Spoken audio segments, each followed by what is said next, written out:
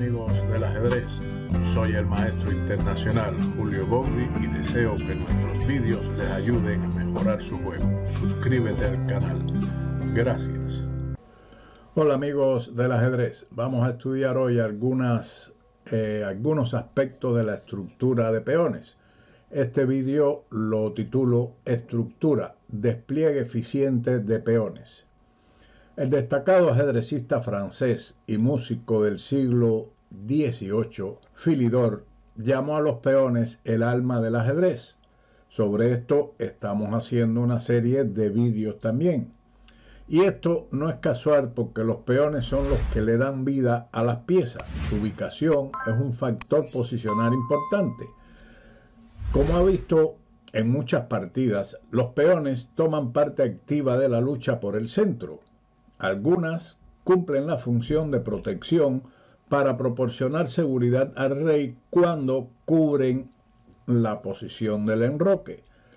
Los peones cubren a su rey en esta posición que estamos mostrando en el mini diagrama, que son F2, G2 y H2.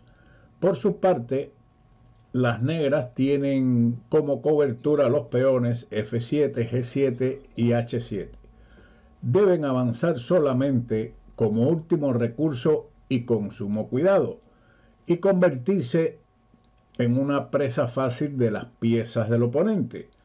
Las unidades de batalla más débiles, en este caso supuestamente los peones, tienen una peculiaridad esencial que las distingue de otras piezas. No pueden regresar. Veamos algunos movimientos de estos peones por parte de las blancas, pero que son válidos para las negras. También en caso de F3, por ejemplo, F6. Los movimientos que vamos a realizar con las blancas ahora y su explicación también le sirven a las negras. Las blancas pueden jugar varios peones, como son, por ejemplo, el avance F3, que debilita la diagonal de G1 a A7. También, en la posición inicial, pueden realizar el avance G3, pero esto deja débil la casilla F3 y H3, así como la diagonal de H1 a 8. Otro movimiento típico en estas posiciones son H3, que es un movimiento bastante sano y uno de los más empleados porque deja al rey eh, un escape y dejarlo encerrado también puede causar perjuicio en ciertas maniobras, pero también deja debilidades en la diagonal de H2 a B8. Debilita la casilla G3, que es muy peligroso para el enroque cuando existe un alfil en la diagonal G1 a 7 por parte de las negras, claramente. Seguimos con el avance F4. Normalmente este avance de peón se emplea en muchas aperturas para iniciar ataque en el ala del rey, pero no siempre es efectivo por la apertura de la diagonal G1 a 7, que puede causar problemas al enroque de las blancas y de las negras si efectúan F5. Otro avance característico es G4, que también tiene un carácter agresivo, aunque deja delicadamente debilitado el enroque en la diagonal de H1 a 8 y las casillas F3 y H3. También las casillas F4 y H4 son considerablemente débiles. Ahora, H4. En esta generación de computadoras, este avance está muy de moda y tiene objetivos tanto estratégicos como el avance H4, H5 para debilitar el enroque enemigo, como de ataque, apoyo por ejemplo a una pieza en G5. Todos estos movimientos son relativos, pues tienen sus ventajas y desventajas, según la posición que ocupe el resto de las piezas. Por eso, es que se debe tener mucho cuidado en el momento de realizar cualquier tipo de estos movimientos que hemos indicado. Veamos este otro diagrama. Un más movimiento, digamos de alfil o caballo, puede corregirse a costa del tiempo.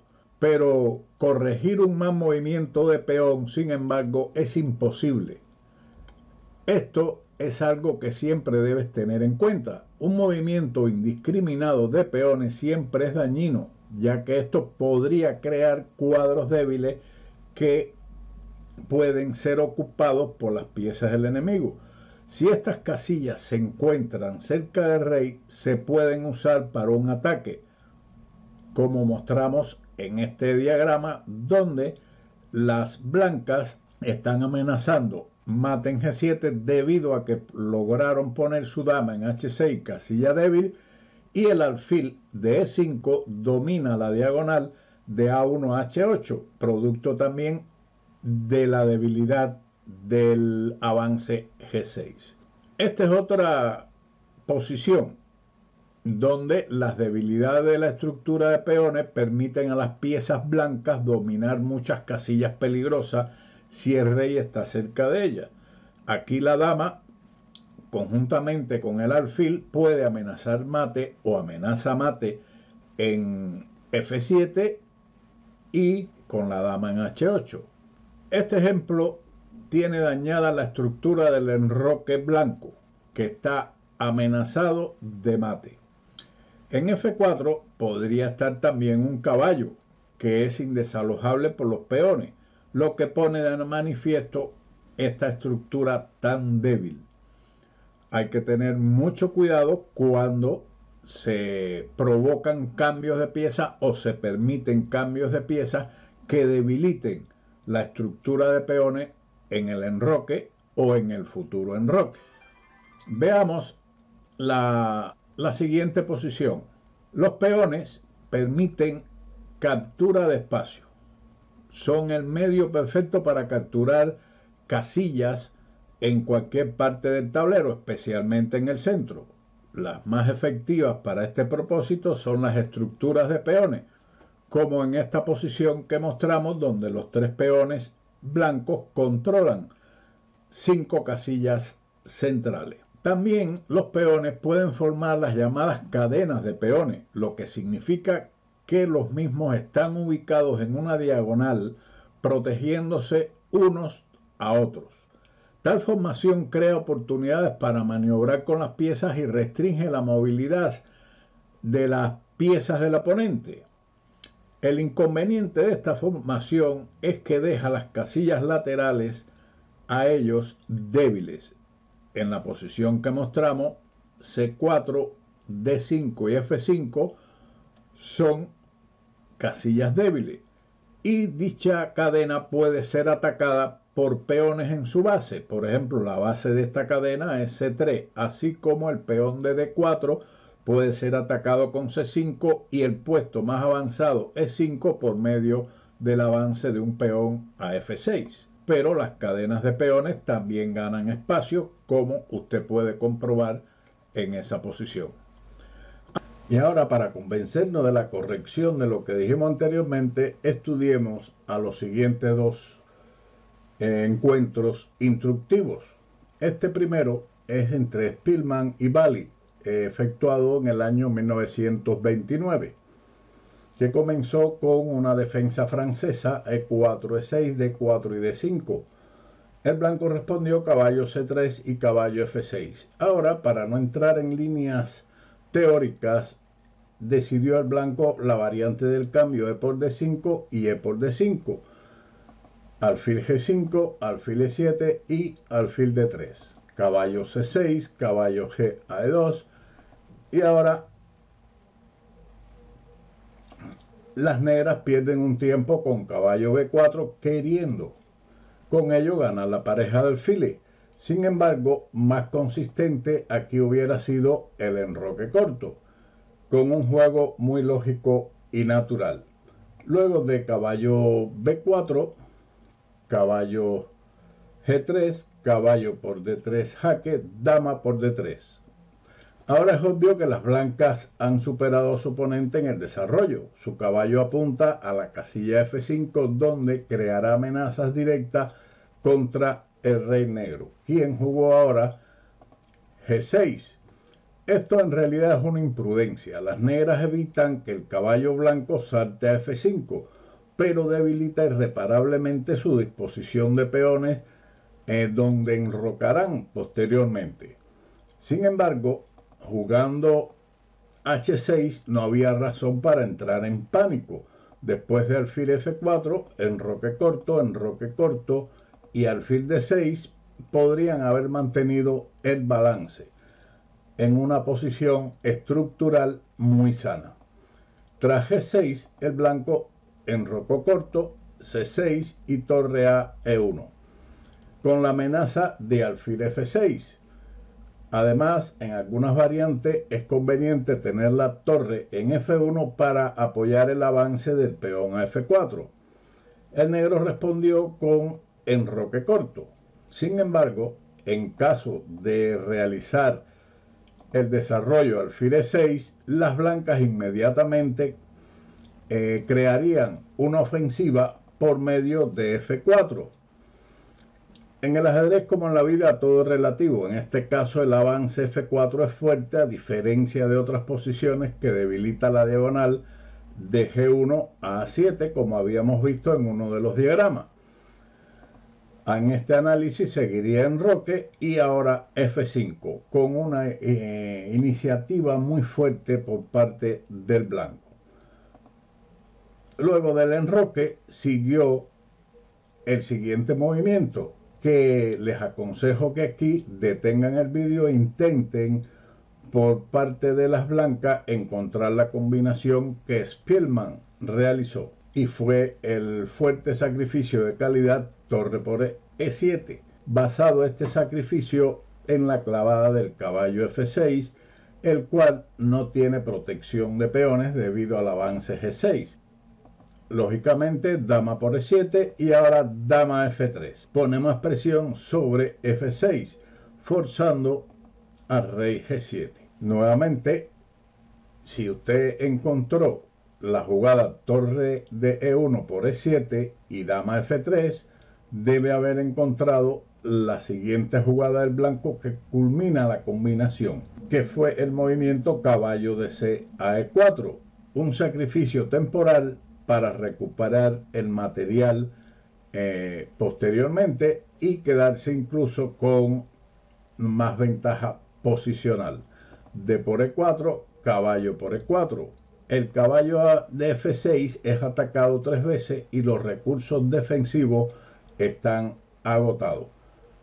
Por esa razón, el negro jugó dama E6 alejándose de la posible captura de su dama tras alfil F6 jaque, rey G8 y dama F4, el negro tuvo que abandonar. No puede evitar que la dama blanca llegue a la casilla H6 como resultado del movimiento descuidado con el peón de G6, como mencionamos al principio del vídeo. Pasemos ahora a ver otra partida, esta vez entre Keres y Terpugov celebrada en Moscú en 1951. Keres inició el juego con D4, D5 y C4. Caballo C6. Esta es la conocida defensa Chigorin. Esta apertura lleva dicho nombre en honor a su creador, el gran maestro de ajedrez ruso del siglo XIX, Mikhail Chigorin. El negro concede el centro y luego organiza una presión sobre el mismo. Keres jugó caballo C3. Sin embargo, existen otras continuaciones como C por D5, dama por D5, E3, E5, caballo C3, alfil B4, pero esto solo ayudaría al rápido desarrollo de las negras. Otra continuación es el desarrollo caballo F3, que es una de las líneas más empleadas en esta posición. Pérez había jugado caballo C3, caballo F6, caballo F3 y alfil G4. La captura del peón en C4 dejaría a las blancas con un fuerte centro de peones tras E4, con dos infantes en D4 y en E4. El peón de C4 finalmente caería. Después de alfil G4, C por D5, inicio para crear un fuerte centro de peones. Caballo por D5, E4, alfil por F3. A primera vista, con este movimiento las negras interrumpen la armonía de los peones de las blancas, ya que aparecen peones débiles. Sin embargo, el peón que aparecerá en F3 jugará un papel importante en el fortalecimiento del peón central E4. Probablemente hubiera sido mejor no intercambiar el alfil de G4 por el caballo y realizar el retroceso caballo B6. A la captura del caballo en F3 siguió G por F3 y ahora caballo B6. El cambio caballo por C3 y B por C3 permitiría al blanco tener una, la ventaja de los alfiles además de un centro fortalecido con peones. Estos cambios también facilitan columnas abiertas a las, a las torres como son la columna G y B. Pero debemos prestar atención a las casillas débiles F4 y C4 que podrían ser utilizadas por las negras si no se tiene cuidado. Sobre todo la casilla F4 porque el cambio de los alfiles de casillas negras podrían dejar instalado allí un caballo causando una gran molestia. Después de la retirada caballo B6, el blanco avanza D5. La cadena de peones se vuelve amenazante, comienza a capturar nuevos territorios. Es difícil atacar la base de peones por medio G5 y G4. Caballo B8, alfil F4. Vemos en esta posición cómo la estructura de peones de las blancas restringe la actividad del contrario y facilita la movilidad de las piezas blancas. C6. Este es uno de los métodos para atacar una cadena de peones, aunque en esta posición no es tan dañino para el blanco. Caballo D8, D7 sería respondido con caballo B5, amenazando el peón de C7 con una gran ventaja de las blancas. Tras C6, dama B3. Las blancas continúan desarrollando sus piezas, mientras que las posibilidades de las negras son limitadas porque su posición está muy restringida. Caballo de 8 a D7. Si en lugar de ello se captura el peón C por D5, entonces vendría el molesto jaque al B5 jaque, caballo de 8 a D7, torre de 1, presionando en la columna D D por E4 y tras caballo de 5 las negras no pueden salvar su caballo de D7 después del cambio de caballos en B6. Caballo de 8 D7, torre D1 y dama C8. En esta posición usted puede observar cómo la torre de D1 presiona en la columna D a lo que el negro respondió dama c8 intentando salir de la peligrosa posición de la torre. Sin embargo, ahora surge una nueva clavada, no menos amenazante, como es alfil h3, amenazando abrir la columna D y cambiar en B6, con lo cual el caballo de D7 quedaría clavado y de una manera fatal. G6. La única forma de defenderse contra la clavada es bloquear el alfil H3 por medio de F5. El negro tiene éxito en esto, pero ya no puede eh, salvar su juego. Caballo A4, F5, bloqueando la actividad del alfil. En caso del cambio de caballo por E4, seguiría D por C6, lo cual decide tras la presión del alfil de H3 y la torre de 1 contra el caballo de D7. F5, caballo por B6 y A por B6. No era correcto caballo por B6 en vista de alfil E5, torre G8 y D por C6, con una amenaza muy fuerte sobre la torre de G8.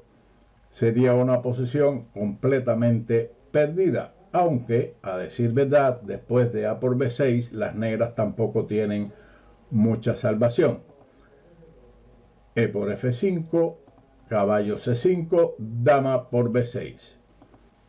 E5. Las blancas ahora hicieron uso del recurso de la captura al paso de por E6. El negro estaba esperanzado en la siguiente continuación.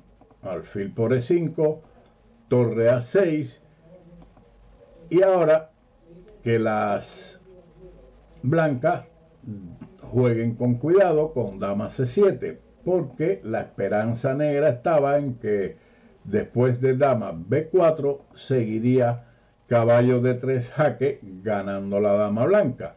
Pero tras dama C7, el cambio de dama, dama por C7, alfil por C7, torre por A2, para buscar la salvación en este final por parte de las negras, era su esperanza. Pero, por desgracia, la cadena de peones vuelve a entrar en la batalla. Este final sería claramente muy favorable a las blancas.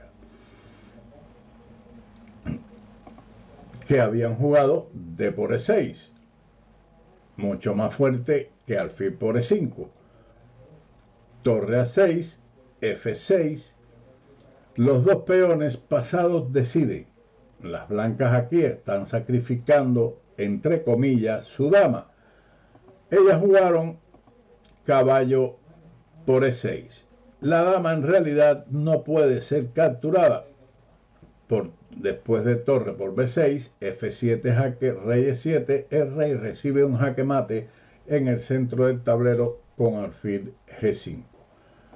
Caballo por E6, dama B3, Ahora la clavada por la diagonal H3-C8 es la que decide el resultado. Rey F7, enroque corto. Aquí podemos señalar en realidad la mala estructura que habíamos indicado en uno de los, de los diagramas que tienen las negras en esta posición. Pero en realidad esto ahora es insignificante debido a la mala posición que tienen las negras con su rey en el centro y la gran desventaja eh, posicional y material de la misma. Ya sin esperanzas en esta posición siguió C5, torre de F a E1, C4, dama B5. Y en vista de la amenaza torre de 7, el negro decidió abandonar.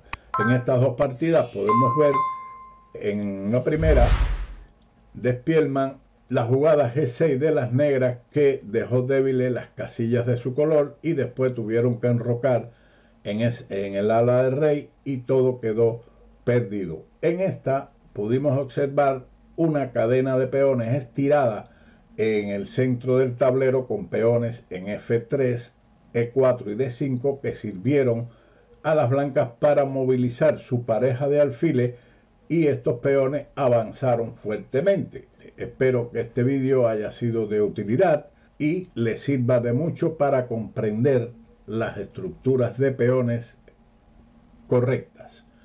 Muchas gracias y hasta otro vídeo ajedrez con Bowdy. Chao.